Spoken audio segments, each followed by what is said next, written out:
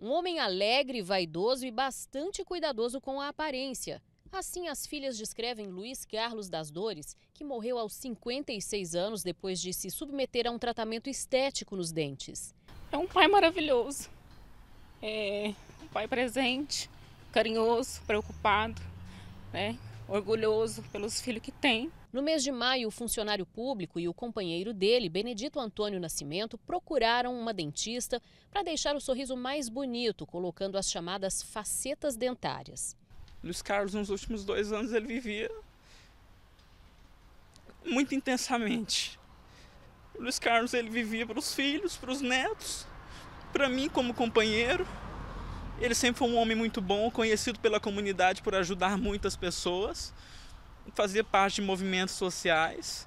O serviço foi feito, mas Luiz Carlos começou a sentir fortes dores, dormência e inchaços poucos dias depois do procedimento. Ele reclamava de muita dor, né? nos encontros de família ele ficava mais acuado e eu cheguei a perguntar, pai, por que, que o senhor está desse jeito? Eu não, minha filha, eu tô com o dente doendo. Em áudios enviados pelo WhatsApp, o companheiro de Luiz Carlos cobra providências da dentista que os atendeu. Você pode arrumar, pode dar um jeito, solucionar o problema é meu, do Luiz, eu quero solução disso. Na conversa, a dentista nega qualquer relação entre as facetas feitas por ela e as reações apresentadas pelo paciente. Problemas nas facetas não é. Se fosse, já teria dado problema desde o dia que fez, né? Esse inchaço, esse edema com essa, essa dormência que está sentindo, e isso tem que descobrir o que, que, que, é. No começo do mês de agosto, Luiz Carlos precisou ser internado às pressas, sentindo falta de ar, muitas dores nos dentes e com o lado esquerdo do rosto bastante inchado. Ele passou 13 dias no hospital. 11 deles entubado, até que no dia 18 de agosto ele não resistiu e morreu em função de uma infecção generalizada. Ao ser internado, os médicos suspeitavam que Luiz Carlos estivesse com embolia pulmonar e detectaram uma infecção bacteriana nos exames de sangue.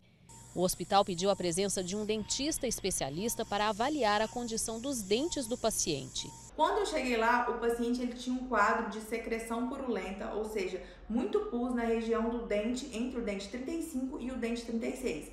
Para vocês entenderem, é na região do pré-molar e do molar do lado esquerdo, na arcada inferior. Então nós drenamos bastante pus. Eu pude reparar que o paciente ele tinha bastante excesso de cimento ainda na região que é provavelmente decorrente da instalação das facetas, ficou ali um, um, excesso de cimento e ele tinha um certo grau de mobilidade nesse dente. Outro fato que causou indignação à família são os laudos feitos por outros dentistas analisando os raios X panorâmicos da arcada dentária de Luiz Carlos, feitos antes dele colocar as facetas.